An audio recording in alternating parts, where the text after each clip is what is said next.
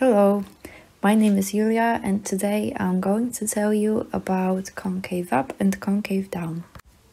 So first of all, we need to determine what this concavity is. To do that, we need to know that the first derivatives tell us very useful information about the behavior of a function. They are used to determine if a function is increasing decreasing or constant on a given interval. Now, you're probably already familiar with how to test if function is increasing, decreasing, or constant. We can apply a very similar way of thinking to second derivatives. Like first derivatives, second derivatives also tell us useful information about the behavior of a function. You can find the second derivative, usually denoted by f bis, by taking the derivative of the first derivative. To sum up, the first derivative can tell us where the function is increasing or decreasing, while the second derivative can tell us the shape of the graph. To be more specific, the second derivative tells us the concavity of a graph, whether the graph of f is concave up or concave downward. Here you can see the definition. So whenever the function is concave up, then the second derivative is positive, which also means that the first derivative is increasing. And when a function is concave down, it means that the second derivative is negative, which means the first derivative is decreasing. There is also one more important thing, which is called the inflection point.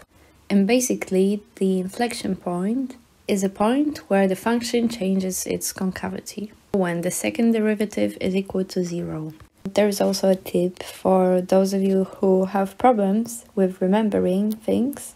Basically, the graph of function which concaves up, it reminds a cup in its shape, as you can see here.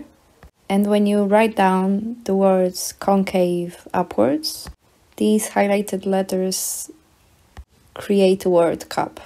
So it's easy to remember, basically. So let us start with an easy example.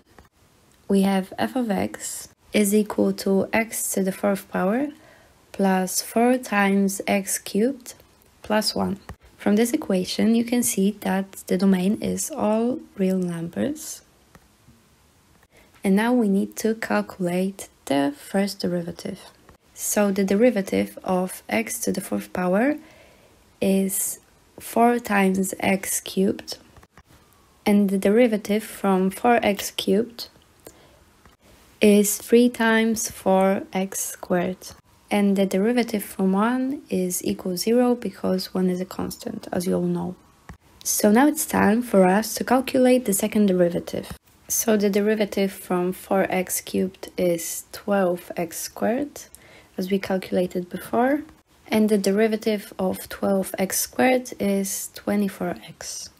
So now it's time for us to find the inflection points. And we know that the inflection points occur when the second derivative is equal to 0. So we write down that 12x squared plus 24 is equal to 0. And now we can take 12x before the brackets and inside we will be left with x plus 2.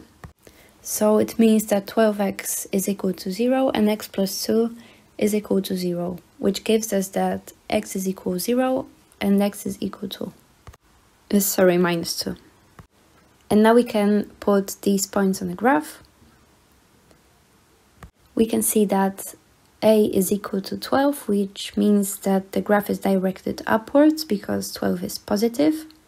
And when we look at the graph, we can see that the function is concave up on an interval from minus infinity to minus 2 and from 0, 0 to plus infinity and the function is concave down on an interval from minus 2 to 0. Our second example is y equals natural logarithm of x squared plus 4 plus x minus natural logarithm from 2. So at first we need to determine the domain of the function. We know that this one is always greater than 0, so So x squared plus 4 is greater than 0 and we all know that x squared plus 4 is always greater than 0 so it means that the domain is all real numbers. Now we need to find the first derivative of a given function. I will do this now.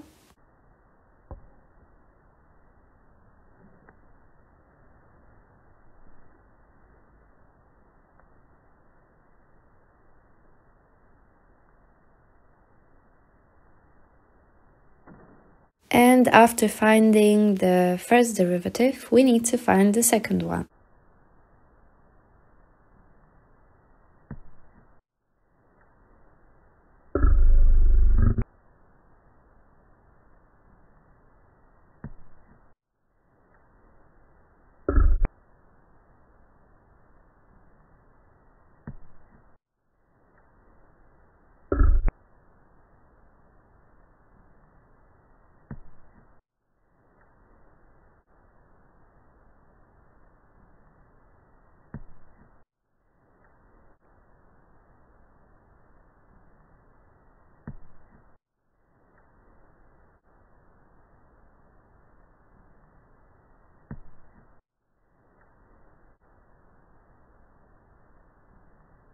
And now it's time for the inflection points. We know that the inflection point is where the second derivative is equal 0.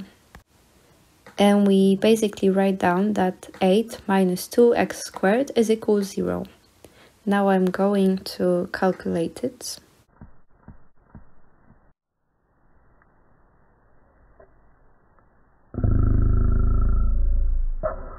And from our calculations, we can see that x is equal to 2 and minus 2. So we put both of these numbers on a graph. And from the equation, we can see that a is equal to minus 2, which means that the graph will be directed downwards.